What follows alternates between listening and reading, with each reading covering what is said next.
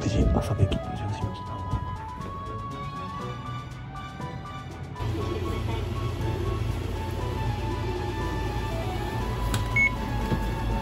ということでね無事に岡玉空港到着しました。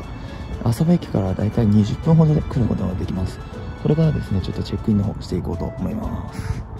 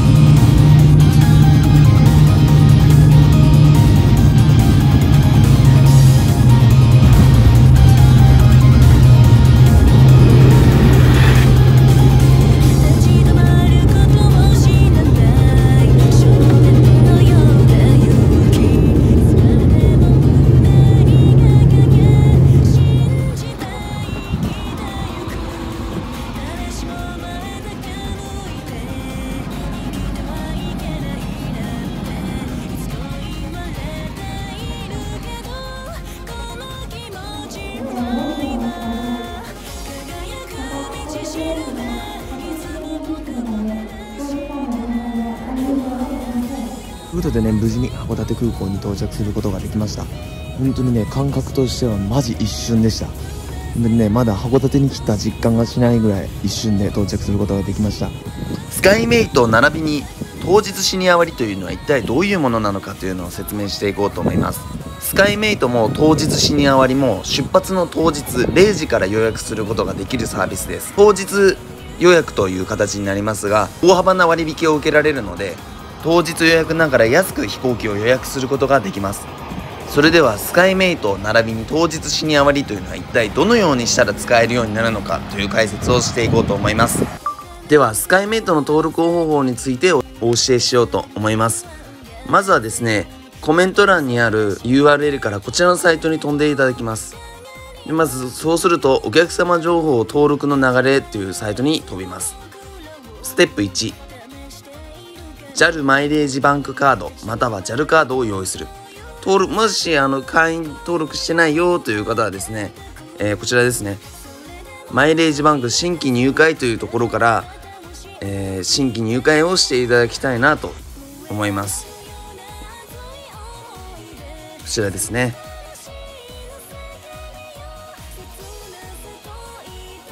こちらからですねいろいろ入力して、えー、まず会員になっていただきます。で会員になった後もしくはもう会員だよという方はこちらですね。情報登録のお申し込みをしてください。郵送でのお手続きの場合はですね例えばこの当日シニア割スカイメイトだと運転免許証であったり運転経歴証明書パスポート健康保険証学生証年金手帳などを用意していただいてこちらの生年月日情報登録申込書という PDF ファイルがございますのでこれを印刷して、えー、札幌市中央区北一条西7丁目1の1カープ札幌ビル JAL 国内線チケットデスカートにお申し込みください。で登録が完了した場合はですねあるマイレージバンクにご登録いただいた住所またはメールアドレス宛てに登録完了のご連絡が来るということです。この連絡が来た時点からもうスカイメイトもしくは当日シニア割が使うことができるのでその次、連絡が来た次の日から安く飛行機に乗ることができます。続いて予約方法です。JAL の公式のアプリから予約していただきます。札幌から函館を例にしまして、出発日は当日じゃないといけないので、本日の撮影日が5月6日ということで、5月6日を選択。そして対象者は限定割引、こちらをタップしていただいて、下の方に当日シニア割、スカイメイトの2種類がございます。例えば今回はスカイメイトという選択をしてみます。で、赤い下の検索するボタンを押していただき、このようにたくさん料金が出てきます。今回はスカイメイトを利用しますので、この最安と書かれているボタンをクリック。そうすると、6600円で購入できる航空券が出てきます。でこの次へを押すと、名前を入力したり、クレジットカード情報を登録して、いよいよ本格的に購入ということになります。空港でも購入することができます。クレジットカードのない方は空港で購入してみてください。ではチャンネル登録、高評価よろしくお願いいたします。また次回の動画でお会いしましょう。さよなら。